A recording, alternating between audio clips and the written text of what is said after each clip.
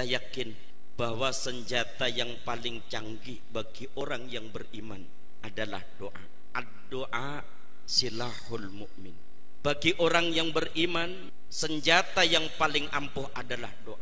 Kita punya keyakinan karena ini doa merupakan satu senjata yang paling canggih dan kita ketika berdoa harus yakin fa'ila da'autum fa'aqinu bil ijabah. Ketika kalian berdoa yakinlah doamu itu pasti diijabai oleh Allah.